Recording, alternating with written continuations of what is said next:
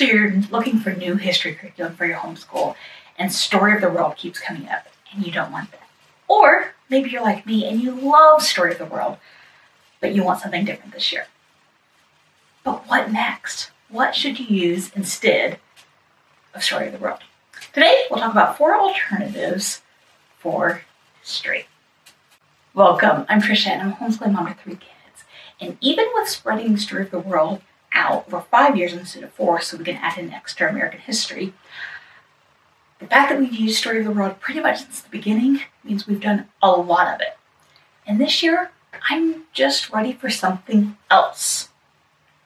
And maybe you are too. So today, let's talk about a few alternatives that you might want to look into. First one, if you enjoy the story, the story setup of Story of the World, um, and you like the chronological events going on all over the world, then Story of Science might be one for you to check out. This is by Joy Hakim, who also writes the History of Us books. And she takes you through history. This, um, it starts with Aristotle in the beginning. This one is Newton at the center. That's one we've been working on this summer. And then I think the third one is called Einstein Leads the Way. It's broken down into three instead of four books like that one is, or but Story of the World and it's written in a story way, but as the title says, it's a story of science. It's a story of history through the lens of science and mathematics. Each chapter introduces you to another person. You get to know about the person, the what their role in history was, what their role in science or math was.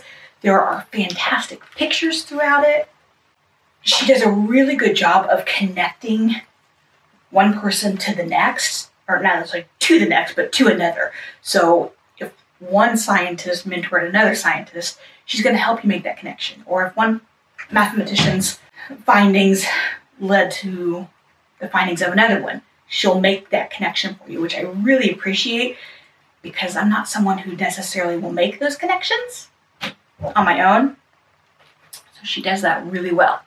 Now, the only thing I'll say is that there are not activity lessons to go along with this, like there are with the activity guide and Story of the World.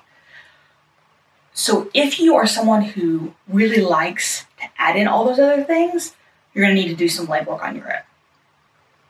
Um, each book, I mean, you can see it's a pretty good size. This one, look at my chapters. This one has 40 chapters. Um, and I think the other ones are about similar. So they're similar chapter number wise to Story of the World. You could easily take one chapter a week and flesh it out to make uh, a larger curriculum for you. We have done some of that, not in a strict sense. We've added some YouTube videos, some documentaries, some picture books, type of thing to go along with different people we've read about but in a very informal way. So if you, but so that said, if you're someone who likes having the activity guide with it all laid out for you, well, this is not going to be it. However, if you are someone who really just loves the story model, which is what my boys really um, pick up on, that's how they learn well, then the Story of Science series might be really good. If you want to just spend this year doing this, but you don't want to spread it out over multiple years, you could easily do all three books in a year. Um, chapters are easily doable, a few chapters a week. That's what we did um, back in the spring. We worked our way through the um, ancient one. Now, if you would rather do a topical approach to your school year, then maybe you want to check out the unit studies from Moving Beyond the Page you can buy just the history portion of this part of their curriculum. And each one is about 20 bucks and will last you, what I could tell, it looks like four to six weeks. For my boys, they do not love doing like worksheet type things. So there's a lot of that in Moving Beyond the Page. And it's definitely geared for um, a student to complete more independently than a story of the world. And since it is a unit study, there are books, so you'll need to either buy those or get them from your library. For our family, I've decided that the, these aren't going to be a great fit. I looked at them really and considered, watched several videos, and I just decided it's it's not a great fit for us. But that's mostly because my boys my always hate doing like worksheet type things. I really liked the look of them though, and the materials and such. So consider it if that's not something that um, is a big uh, negative for your kids. Now, if you want something that's even more independent, where basically it's all on the child, then you might want to consider the Big History Project, but the version through Khan Academy. There is, um, this is a free program that's been put together, and I don't even know by who, honestly. But it's fantastic. But it is very much geared toward a classroom. Could you adapt it? Yes. But it's going to be a lot of work on you to do that. However, when I was reading or when I was looking at it again, I noticed that Khan Academy has it. It is a more simplified version, but much better for an independent learner in a homeschool, not in a classroom. There is a DK publishing book that goes along with um, it. So if you wanted to add in that, you can do that. I think it was, um, I think it's forty dollars for the hardcover, and then there's a Kindle version for I think it was twenty. This, I think, is what we are going to use for my youngest next year, because my my son Ben, who'll be eighth grade, will do a year of U.S. history on his own using uh, the story of us. Is that called the history of us? Is that what it's called by Joe Hakim? I think I said story of us, but I think it's history of us. Anyway, whatever that series is, he'll do that next year for history. So for Matthew, I think I might move him to this.